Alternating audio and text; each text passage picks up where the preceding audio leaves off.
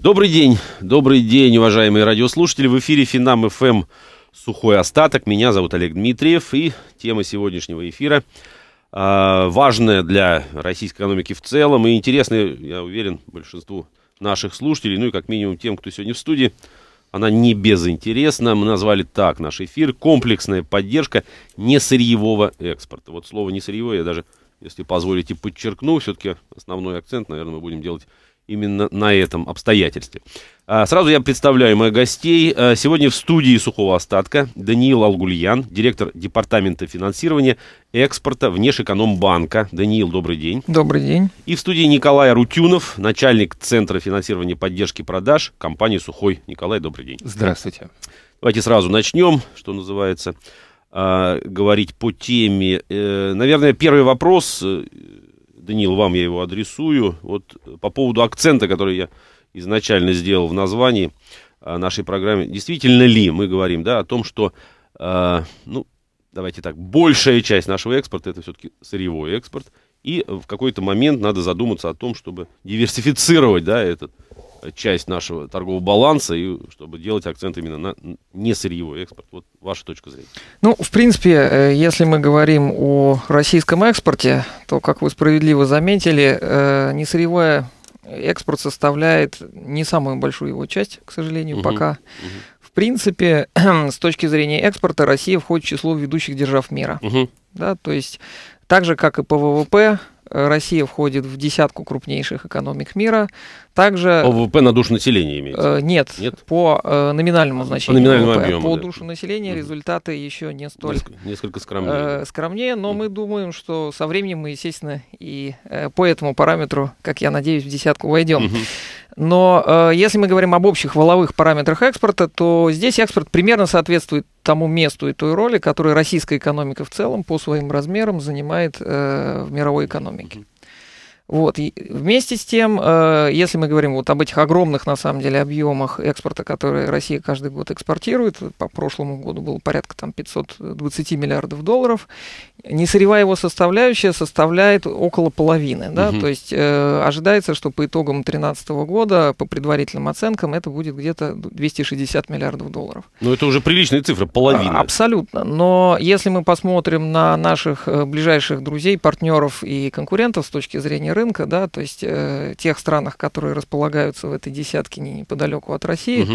то их объемы несырьевого экспорта э, часто бывают существенно, существенно больше. Да? Если вы возьмете, допустим, Германию, то там доля несырьевого экспорта вообще, соответственно, зашкаливает, но это связано, естественно, с объективными причинами. Конечно, в Германии нет, нет сырьевого. сырьевого. Экспорта, то есть они, может быть, и рады были бы иметь сырьевой экспорт, но, соответственно, э, его просто физически нет. Да? Ну, то же самое, та же самая картина. Но в этом случае, может, не очень корректно это сравнение. Нет? Э, вместе с тем, э, я бы сказал, что сам по себе сырьевой экспорт, он неплох. Это хорошо, да. и благодаря этому, в общем-то, наша экономика получает необходимые, соответственно, подпитку в виде валюты, угу. выручки и так далее.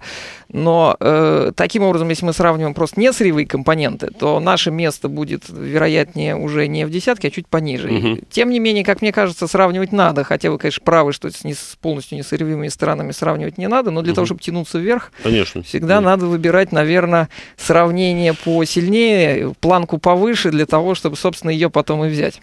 Согласен. Николай, вопрос э, к вам сейчас. Э, собственно, э, Даниил фразу при, произнес в самом начале. К сожалению, говорит э, он, да, доля несырьевого экспорта, ну, там, еще не такая, которую хотел. А действительно стоит ли по этому поводу сожалеть, как вы думаете? У нас есть возможность да, а, пополнять бюджет за счет экспорта сырья. Ну и слава богу, давайте вот на этом сидеть, что называется. Это развивать, опять-таки, да, не, не успокаивать. Как вы думаете? Ну, я думаю, что мы этот путь уже один раз проделали, а может быть даже уже не один раз uh-huh. свою историю. К сожалению, если вы э, как это принято говорить, держите все яйца в одной корзине, и не дай бог что-нибудь с этой корзиной случится, вы рискуете потерять очень много. То есть э, дело, дело именно в этом, да, что Я мы слишком думаю, завязаны да. на ценах на нефть, не дай бог, если что-то происходит и так далее. Да, тем более в нашей собственной истории mm-hmm. примеры есть и из давнего прошлого, и из недавнего mm-hmm. прошлого, когда такая схема перестает работать.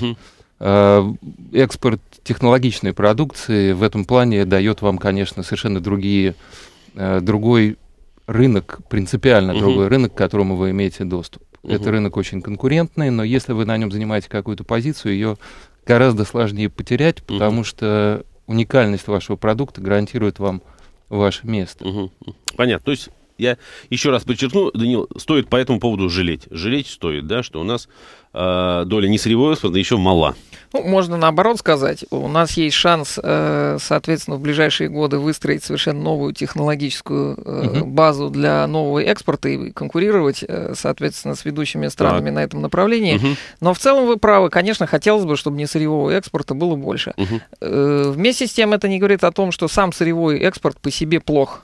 То есть, в принципе, на самом деле, если вы посмотрите, возможно, это будет немножко спорное утверждение э, с моей стороны, uh-huh. это мое личное мнение.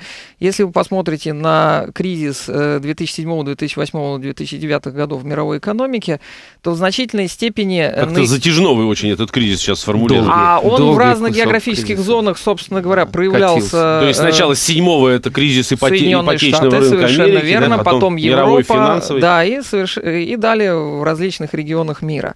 Угу. Если говорить вот об этом, то наибольшие объемы э, спада, соответственно, по ВВП вы обнаружите как раз страны с недиверсифицированным экспортом. Угу. Причем этот недиверсифицированный экспорт э, может быть как сырьевой, так, не так собственно, и не сырьевой. Угу. И здесь вопрос угу. был, собственно, не только в том, что конкретно поставляется, а в степени диверсификации. Понятно. И поэтому здесь Россия находится в уникальном абсолютно в международном сравнении положении, когда Россия может построить действительно диверсифицированный экспорт, имея и сырьевую компоненту, и несырьевую, и высокотехнологическую. Данил, если позволите, я хотел бы подчеркнуть, вот пример, связанный с Германией. Смотрите, что происходит, да? Там, ну, значительная часть экспорта не сырьевая, да? Если Германия захочет диверсифицироваться, то у нее просто нет такой возможности, потому что Совершенно верно, нечего конечно. ей экспортировать, у нее нет по, по определению. И Поэтому посмотрите, э, какой был спад э, разовый. Естественно, это не единственная причина, да, угу. я далеко, не, так сказать, не склонен объяснять это только этим. Но посмотрите, какой спад был у Германии, которая в значительной степени, так же как Россия, от нефти зависит от экспорта машиностроения, да, да? да, да. Э, и какой был в странах, где, соответственно, экспорт более сбалансирован, угу. да, то есть в тех странах, где экспорт был статистически более диверсифицирован, кризис, собственно говоря, они прошли более гладко. Угу. Угу. Вот. Германия, конечно, потом э, довольно быстро компенсировала тот спад, который был, и сделала это очень успешно. Но вот вам пример. Причем вы абсолютно правы. Возможно, в Германии это, собственно, не по доброй воле, а исходя Совершенно из тех э, природных Реалий, условий, да, которые да. есть. Угу. У России в этом смысле есть некоторые преимущества, и, Совершенно. как мне кажется, мы имеем все возможности его использовать. Так, это замечательно. Теперь давайте, собственно, да, поподробнее об этих возможностях. Что в пре, э, прежде всего, на ваш взгляд, да, мы можем а, занести вот как раз в этот список несырьевого экспорта, да, что мы можем, а, чем мы можем удивить мир. Э, Николай, давайте. Давайте ну, вам. честно вам сказать, я очень люблю задавать этот вопрос, потому что действительно, если мы не говорим о сырье и не говорим, может быть, о продукции там оборонного характера, вот на пальцах, наверное, одной руки можем перечислить... Вот э, здесь, к сожалению, я бы добавил все-таки, И да? я добавлю тоже, к сожалению. Угу. На пальцах одной руки можем перечислить то, что экспортируется, и то, что действительно сделано с использованием, тем более каких-то высоких технологий. Угу. Ну и кроме того, это, наверное, даже не, не столько уже тема макроэкономическая, сколько микроэкономическая. Понятно, что чем сложнее ваш продукт, тем больше вы можете на нем заработать. Угу. Сырье по определению дает вам самую низкую маржу. Я не беру там ситуацию, да, вот с конкретным балансом цен э, и себестоимостью производства барреля нефти, uh-huh, но, но uh-huh. как принцип. Uh-huh. Какую маржу вы можете накидывать на сырье? Да, она легко просчитывается и всегда понятна. Uh-huh. Со сложной продукцией дело обстоит э, принципиально по-другому, потому что вы производите продукт, не имеющий аналогов. Даже если мы говорим о конкурентном рынке, все равно вы должны на этот рынок принести что-то, чего там не было до сих пор. Ну, это важный, кстати, момент, да? Иначе зачем вы там нужны? Совершенно верно. И э, в этом плане, конечно, я могу тут уже выступать только как представитель сухого суперджета ну. и рассказать о том, что э, действительно суперджет сегодня это такой уникальный продукт, который э, безотносительно там, к тому, считаем ли мы его российским или европейским, uh-huh. э, совершенно экспортируемый, готовый к принятию в эксплуатацию товар, угу. на котором мы можем а, зарабатывать имя, историю и какие-то деньги. Ну вот хотелось бы более детально, да, в этом смысле поговорить об его уникальности. Uh-huh. То, о чем вы говорите, он должен быть конкурентоспособен. Вроде бы это, да, продукт авиастроения и подобные аналоги наверняка встречаются, да. И, э, в мире, но его уникальность да, дает нам преимущество. Николай, в чем она? А, его уникальность для рынка в том, что то, что вы можете зарабатывать на сухом, вы сегодня не можете зарабатывать ни на одном самолете аналоги. Ни Бомбардей, ни Embraer сегодня вам uh-huh. не дадут таких же экономических возможностей при прочих равных. Э, через 2-3 года, наверное, эта ситуация изменится, потому что появятся новые самолеты, соответственно, и у того, и у другого производителя, которые объективно наши главные конкуренты. Uh-huh. Но вот сейчас есть то окно, которое мы можем использовать для того, чтобы вывести наш продукт на рынок, занять там достойное место. Так. С другой стороны, уникальность этого продукта в том, что это для всех участников этого проекта классический пример полноценной интеграции. Какие-то компоненты системы самолета производятся французскими компаниями, mm-hmm. какие-то итальянскими, какие-то российскими. Кстати, я правильно понимаю, что э, с вашей точки зрения вот эта э, полноценная интеграция это позитивно. Я считаю, что это однозначно. Потому что есть, э, позитив, да, Данил, извини, а... есть обывательская точка зрения, что, ну, mm-hmm. ребят, мы ничего не можем делать сами-то, да, потому что у нас это вот из Франции, а это из Германии, а это, а где российский самолет? Вот Бьют он себя псевдопатриоты в грудь. А, да, тут я бы сказал наоборот, не, не являюсь абсолютно инженером в сфере авиастроения, я но, тоже. так скажем, с с точки зрения общей концепции, мы все время говорим о том, что э, к сожалению, мы поставляем сырье, запчасти, а, соответственно, э, интеллектуальный продукт создается где-то в другом uh-huh. месте. Так вот, uh-huh. Суперджет это как раз то, где все с точностью наоборот. То есть интеллектуальный ага. продукт создается в России. Совершенно точно. А все остальные поставляют для него узлы и компоненты. Понятно. Совершенно точно. И вот здесь, мне кажется, да, можно рассуждать о том, что, какие отдельные узлы или компоненты можно делать там в России или за рубежом, но сама концепция, в рамках которого э, ноу-хау и интеллектуальная, угу. соответственно, стоимость этого продукта э, местная, российская, а э, запчасти со всех стран мира это как раз, возможно, один из тех путей, каким будет развиваться российская промышленность в будущем. А, кстати, я правильно понимаю, что со временем те же самые запчасти, которые сейчас, ну, вынуждены, да, мы адресовали нашим каким-то иностранным коллегам, мы можем э, их э, создание перенести в Россию, если к этому времени сложатся условия? Или это экономически нецелесообразно? Ну, это вопрос, наверное, скорее Николаю. к инженерам. Да. да. Э, вместе с тем И посмотрите на э, автомобильную промышленность, да, то есть... Российскую? Э, да.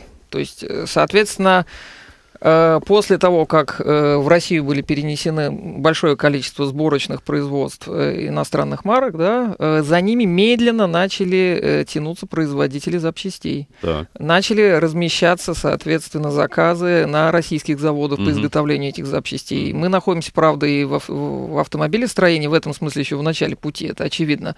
Но определенный тренд виден, угу. и почему бы э, то же самое не происходило и в авиастроении. Да? Э, в России огромный потенциал потенциал с точки зрения производства и технологий. Понятно, что э, по мере освоения новых технологий, э, наверное, российские части, э, запасные части угу. и комплектующие для этого самолета будут все более и более конкурентоспособны. Угу. То есть доля должна, по идее, расти. Но это моя личная точка зрения не профессионала. Ну, ну моя личная точка зрения не профессионала, потому что я тоже, к сожалению, не инженер. И... Угу не очень хорошо представляю даже этот процесс, но нельзя быть одинаково успешным во всем. Нету в мире страны, которая могла бы одинаково хорошо делать все, не знаю, за исключением, может быть, Сингапура.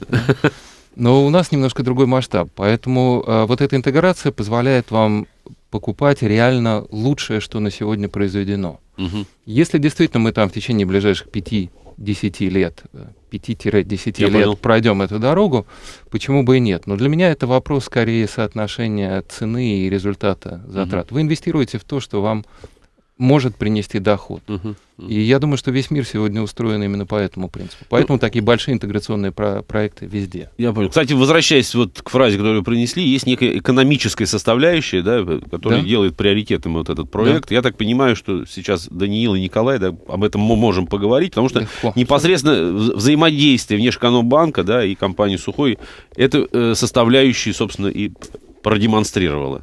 Да, Данил? Ну, давайте с кого? С Даниила начнем. С Даниила. Э, ну, собственно говоря, э, для Внешэкономбанка проект Суперджета мы это рассматриваем как э, один, так скажем, из ледоколов, uh-huh. ледокольных проектов, так скажем, в российской промышленности, который позволяет пробить вот стену, брешь, а, брешь, брешь да? в стене, Лед, соответственно. Ледокол, да, что пробивает обычно? Совершенно верно, да, то есть за которым потом пойдут, как вот. мы надеемся, так сказать, uh-huh, новые uh-huh. самолеты, так сказать, продукция других отраслей uh-huh, промышленности uh-huh. и так далее. И здесь основная задача, да, вот э, то, о чем говорил коллега, что, э, судя по всему, у Суперджета с точки зрения его экономических характеристик, ну, то есть топливная эффективность, например, есть определенное окно возможностей, когда он, в общем-то, обладает достаточно высокой сравнительной конкурентоспособностью uh-huh. среди своих одноклассников. Uh-huh. И вот в этот момент э, самолет должен, э, соответственно, выйти на рынок, получить э, известность, занять свою рыночную нишу, и тогда этот продукт будет существовать успешно. Э, если мы посмотрим на основных конкурентов э, данного продукта, да, так сказать, крупные зарубежные компании, то все они, э, в общем-то, очень плотно работали э, в прошедшие десятилетия угу. по линии государственной поддержки экспорта, да. То есть не секрет, что в значительной степени э, многие десятилетия идет не только конкуренция между, э, соответственно, продуктами, но и конкуренция между системами поддержки экспорта. И поэтому Абсолютно согласен. Э, есть, если мы говорим о высокотехнологической продукции, мы должны говорить и о высокотехнологической системе поддержки экспорта. Uh-huh, да? uh-huh. То есть и наша задача в этом смысле не нарушать конкуренцию, а, пом- а помочь российскому производителю получить равный доступ к рынку. Uh-huh да, то есть обеспечить ему равные условия с конкурентами. И поэтому э, здесь Внешэкономбанк как раз занимается э, таким с точки зрения авиационного финансирования классическим инструментом, как финансирование э, покупки э, этих самолетов зарубежными покупателями. Угу. То есть они могут быть в разной форме. Это могут быть, например, кредиты напрямую авиакомпании в случае, если они покупают, или это э, так называемые кредитно-лизинговые схемы, когда угу. это идет через лизинговые компании.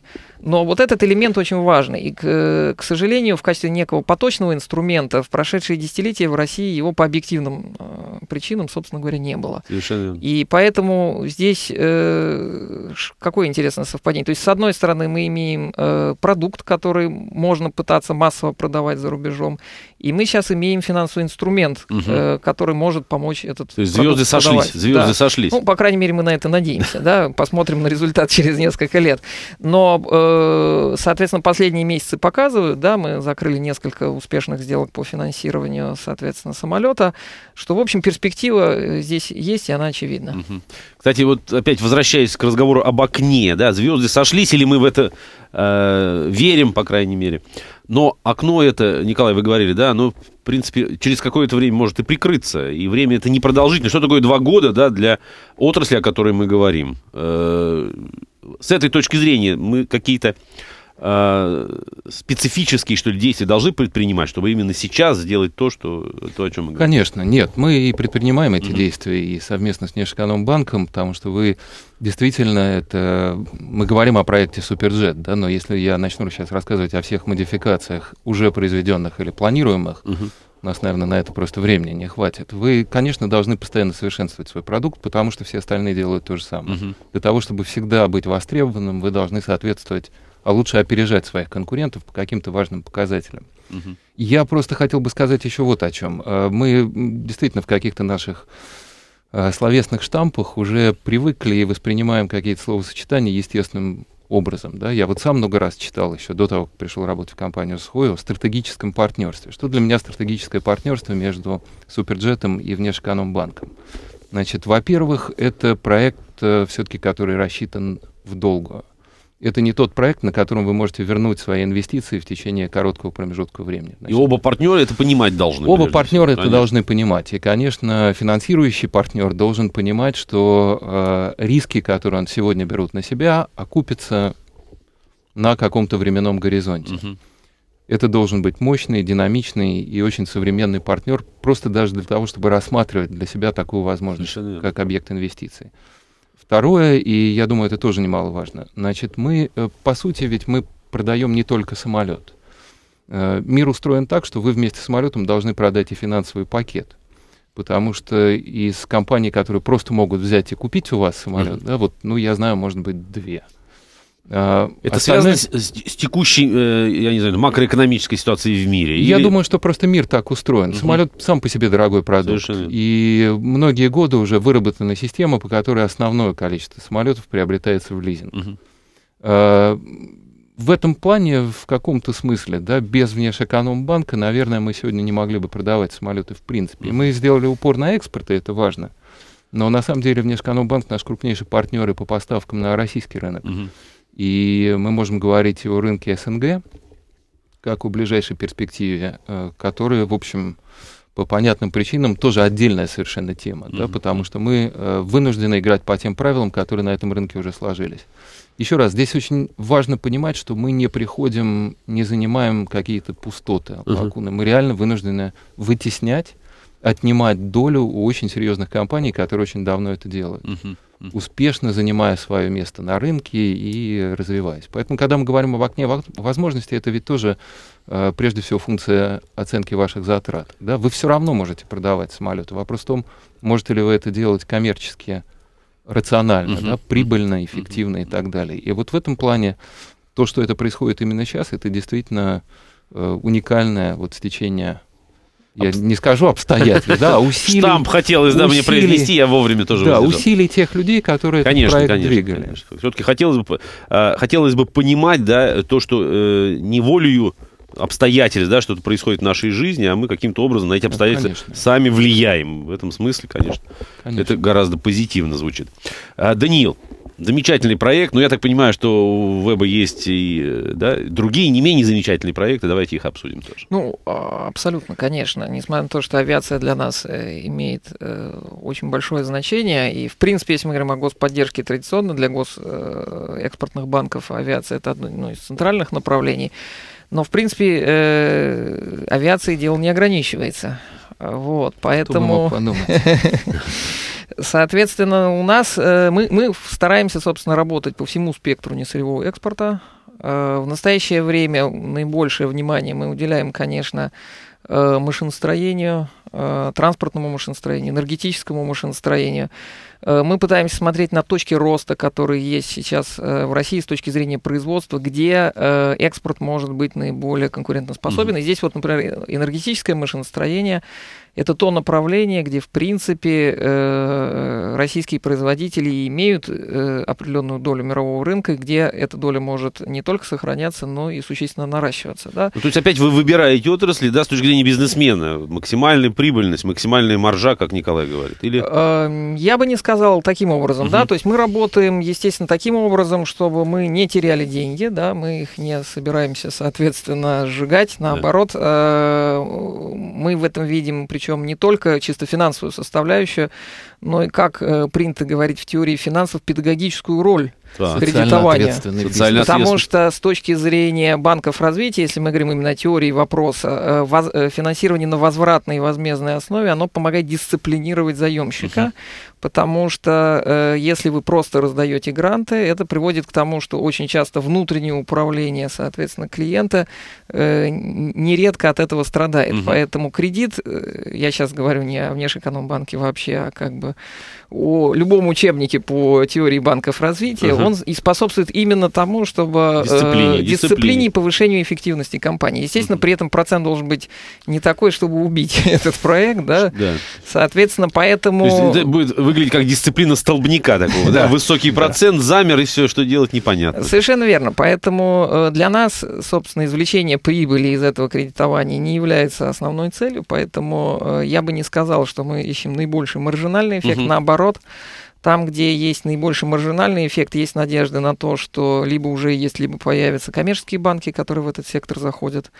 И, а у нас, собственно, конкурировать с российскими коммерческими банками такой задачи не стоит. Но, тем не менее, смотрите, мы опять, если позволите, я вспомню, э, веб видим э, в качестве э, ледокола, ледокола. Вот коммерческий да. банк, он тоже ведь, да, вот в этом проеме может оказаться, да, после Собственно, того, как... в этом и есть э, функция в конечном итоге любого банка развития, угу. да, то есть э, банк развития первым заходит э, на какую-то новую территорию, угу. ну, в идеале, по крайней мере, и потом э, к нему тоже в идеале э, присоединяются другие коммерческие финансовые институты, которые уже приносят рыночные деньги угу. и которые из поддерживаемого сегмента э, превращают вот эту отрасль в нормальную рыночную. Да, в растущую. Да, совершенно угу, верно. Угу. Поэтому это как э, некая стратегическая цель, она есть и будет, и именно поэтому мы работаем по ряду сделок в консорциуме с другими банками, угу. да, потому что мы заинтересованы в том, чтобы подтягивать к нашим сделкам и коммерческие финансовые институты. Угу. Замечательно. Так, э, сейчас у нас время прерваться. Давайте еще раз я напомню для наших слушателей. Мы сегодня говорим о комплексной поддержке несырьевого экспорта. И в студии сухого остатка Даниил Агульян, а директор департамента финансирования экспорта Внешэкономбанка и Николай Арутюнов, начальник Центра финансирования поддержки продаж компании «Сухой». Ну что ж, делаем паузу, слушаем рекламу на Финам FM и через несколько минут продолжаем наш эфир. Ну что ж, друзья мои, продолжим эфир «Сухой остаток» на Финам FM. Меня зовут Олег Дмитриев. Напомню, тема сегодня сегодняшнего эфира комплексная поддержка несырьевого экспорта. Еще раз с удовольствием представлю моих гостей.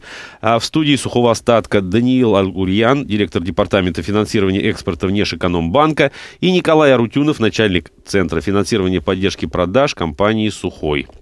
А, Даниил, вам вопрос, собственно, в продолжении того, о чем мы говорили до рекламы. Давайте более детально обсудим все-таки еще раз, на что же да, на какие проекты еще смотрит э, веб прежде всего, для того, чтобы поддержать этот самый несырьевой экспорт? Ну, позвольте мне сформулировать следующим образом. Да, будет неправильно с моей стороны сказать, что мы смотрим прежде всего вот на эту отрасль, uh-huh. на эту uh-huh. или на эту. Мы на самом деле открыты и очень рады будем э, заявкам и возможным, соответственно, запросам на проекте из всего несырьевого экспорта. Поэтому, когда я говорю, что мы больше концентрируемся на том или иной, э, в той или иной отрасли, я говорю о том фактически, что статистически наибольшее количество текущих проектов, о которых мы говорим, текущих заявок происходит угу. именно оттуда, да. То есть, э, ну, хотелось бы повториться, это энергетическое машиностроение, причем как атомное, так и не атомное. Угу. Э, ну, из примеров тех сделок, в которых мы участвовали в последнее время, это, например, э, кредит Эквадору. Угу. Э, потом, э, соответственно, мы также рассматриваем в настоящее время э, кредитование белорусской атомной станции. То есть у нас на самом деле в настоящее время в портфеле очень широкий набор э, проектов, ну, практически по всему миру. Угу. И это действительно здорово, что российские производители э, хорошо известны э, практически на всем земном шаре, там, от Латинской Америки э, до Юго-Восточной Азии, да, угу. когда встречаешься с потенциальными клиентами российских экспортеров, начинаешь разговаривать, удивительно, они, в общем, знают бренды, знают марки, и как бы приятно, что Россия на этом рынке есть. Угу. И, э, судя по всему, не просто есть, но и имеет хорошие перспективы э, быть лидерами. Финансирование очень важная проблема, потому что э, их основные конкуренты, производящие, соответственно, турбины, производящие соответствующее оборудование, в большинстве своем располагаются в тех странах, где очень интенсивная государственная финансовая поддержка экспорта, поэтому mm. те финансовые пакеты, которые они приводят с собой, они, э, в общем, очень часто бывают очень и очень э, привлекательны. Mm-hmm.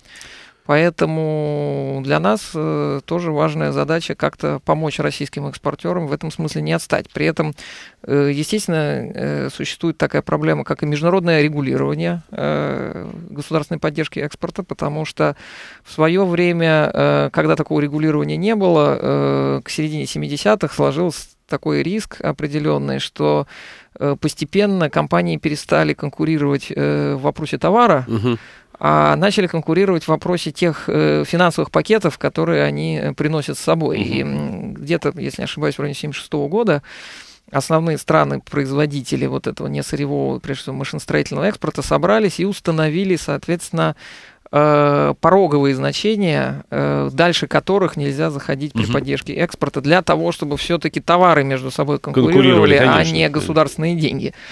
А, опять-таки, э, соответственно, в середине 70-х это приводило к таким примерам, что фактически э, выручка от товаров переставала закрывать те э, расходы, которые угу. совершались в рамках поддержки экспорта. Ну и э, данное регулирование, оно как бы входит в широкий так скажем, створ соглашений по ОСР, и поскольку Российская Федерация сейчас э, обсуждает вопрос о присоединении к ОСР, то мы тоже, собственно, смотрим и э, учитываем в своем финансировании, естественно, все эти правила. И, э, естественно, мы должны как бы в своей поддержке не заходить за определенные предусмотренные границы. Очевидно, очевидно. А, спасибо. Если можно, давайте вернемся вот еще к какому моменту. Э, в данном случае мы говорим о партнерстве, да? Э, обе стороны заинтересованы, прежде всего, в конечном результате, заинтересованы в сотрудничестве друг с другом. На примере Сухого, кстати, Николай, а инициатива, как правило, от кого все же идет? От того, кто предлагает конечную продукцию или от того, кто стремится поддержать и, соответственно, софинансировать это? Ну, я думаю, честно сказать, это такой процесс обоюдный, в uh-huh. котором невозможно выделить, вот что было раньше, курица ну, или яйцо. Ну, нет, нет, мы не с этой точки зрения, конечно, да, но тем не менее Даниил говорит, что вот есть заявки, мы рассматриваем заявки. Нет, конечно. Да? То есть изначально инициатива все-таки, да, подразумевается. Конечно, uh-huh. конечно. И на самом деле вот у Внешэкономбанка, понятно, есть не только задача финансировать гражданские самолеты Сухого, но и ГСС сегодня работает с достаточно большим кругом банков. Просто э, вы должны с чего-то начать. Uh-huh. Да? Вы должны построить некую систему, и она, слава богу, сегодня сложилась. И э, у нас есть общие стратегические направления партнерства, и есть конкретные проекты. И эти конкретные проекты мы, конечно, должны убедить коллег из Внешэкономбанка, что они осуществимы, Uh-huh. что э, Внешэкономбанк имеет свой интерес – не обязательно коммерческий, как я сегодня услышал. Это чуть, ну, наверное, облегчит мое дальнейшее общение с Даниилом. Да. Конечно, конечно. Но э, в любом случае, конечно, мы ищем финансирование под конкретные проекты, и с этими запросами приходим во Внешэкономбанк. Угу. Если когда-нибудь Внешэкономбанк придет к нам и скажет,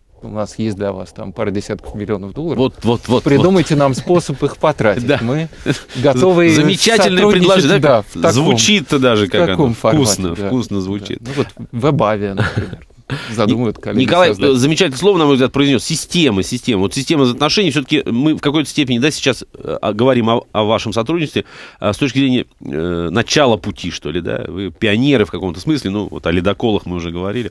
Еще одна метафора. А, можно ли говорить, Даниил, о том, что система это уже, ну, выстроилась, да, и вы уже знаете, как вот с точки зрения поддержки этого самого несырьевого экспорта действовать с другими, другими, другими компаниями. Или или от чего-то зависит, что вы и здесь э, смотрите на партнеров будущих диверсифицированно и говорите, вот с этой компанией мы будем вот по этой схеме работать, а с этой по иной. И от чего это зависит, если это так? Э, ну, здесь очень просто. Дело в том, что каждый экспортный проект, он как ребенок в значительной степени, он э, Хорошая, Еще одна себя. хорошая метафора. Мне, очень нравится. И, э, естественно, в разных отраслях существуют абсолютно разные э, модели экспортного финансирования. Угу. Да, вот Это зависит от отрасли все. Абсолютно. И, угу. От конкретного рынка даже, угу. от конкретного регулирования на конкретном рынке. Угу. Да? Если мы говорим о том, что в мире там порядка 200 стран, куда потенциально можно продавать российский экспорт, то надо учитывать, что это не только 200 стран, это 200 разных правовых систем, 200 разных надзорных органов, 200 разных налоговых систем, и все это надо учитывать. И поэтому э, система поддержки экспорта должна быть максимально гибка для того, чтобы э, иметь возможность реагировать в каждом отдельном случае угу. и предоставлять наиболее эффективный пакет. Да? Поэтому мы как раз и говорили о том, чтобы создавать в рамках э, группы Внешэкономбанка целую систему. Угу. Да, то есть мы сегодня говорили прежде всего о кредитах, да, э, соответственно, сам Внешэкономбанк представляет кредиты и э, целый пакет гарантий, угу. которые мы можем давать там по участию в тендерах, по возврате аванса, по выполнению, соответственно, условий контракта. Э, наряду с этим в группе существует еще и экспортное кредитное агентство, которое занимается страхованием экспортных рисков. Uh-huh. Это XR. Uh-huh. Uh, у нас есть uh, также и специализированные финансовые институты, например, uh, веб-лизинг, который по названию, это понятно, занимается uh, лизинговым бизнесом. Да? У нас есть дочерние банки за рубежом, например, на Украине и Белоруссии, которые можно рассматривать как важных партнеров с точки зрения кредитования.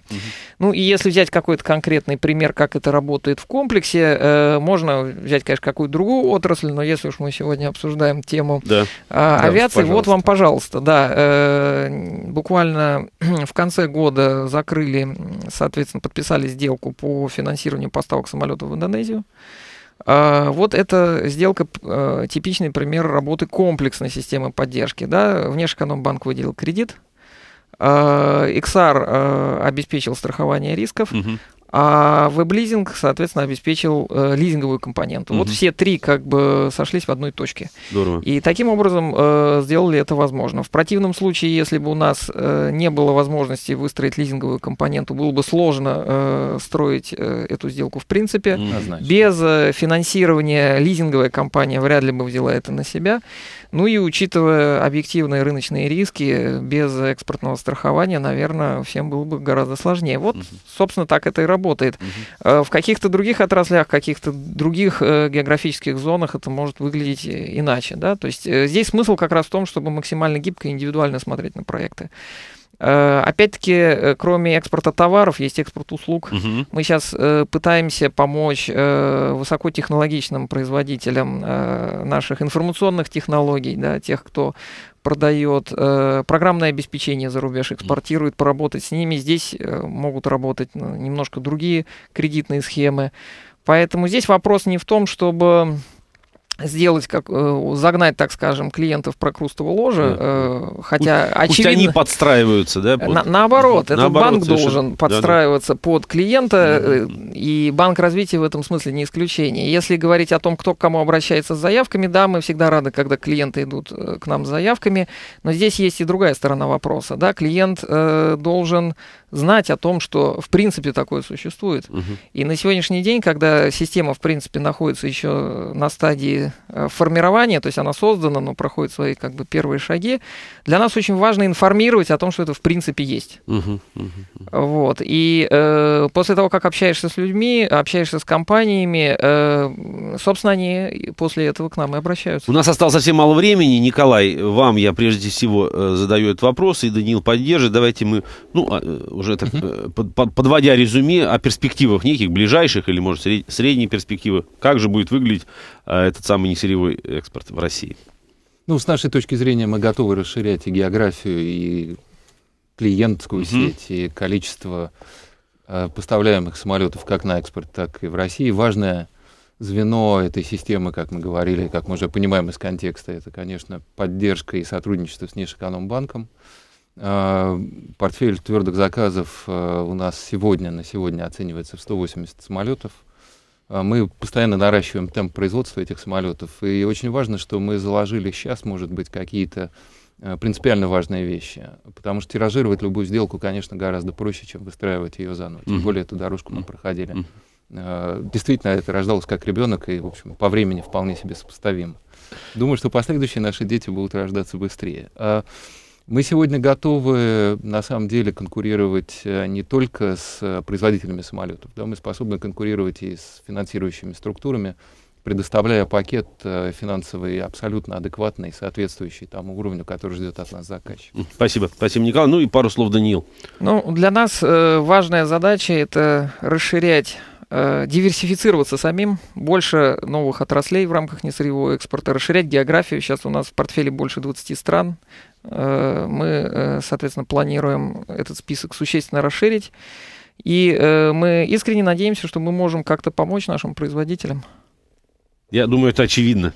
Легко. По крайней мере, да, после а, нашего сегодняшнего эфира, ну, мне, по крайней мере, это очевидно. Спасибо огромное. Спасибо, спасибо огромное. Спасибо. Напомню, сегодня мы говорили о поддержке несырьевого экспорта, и в студии присутствовали и э, вели беседу на эту тему Даниил Алгульян, директор департамента финансирования экспорта Внешэкономбанка, и Николай Арутюнов, начальник Центра финансирования и поддержки продаж компании «Сухой». Огромное спасибо, уважаемые гости. Вам спасибо за внимание, уважаемые радиослушатели. Всего хорошего.